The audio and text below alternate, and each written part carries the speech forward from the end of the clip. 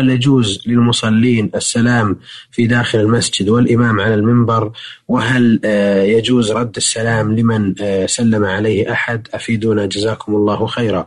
بسم الله الرحمن الرحيم الحمد لله رب العالمين صلى الله وسلم على نبينا محمد وعلى آله وصحبه أجمعين. أما بعد فإن النبي صلى الله عليه وسلم نهى عن الكلام والإمام يخطب وأخبر أن من تكلم والإمام يخطب فقد لغى ومن لغى فلا جمعة له بمعنى أنه يبطل ثوابه لكنه لا يؤمر بإعادة الصلاة وإنما يبطل ثوابه.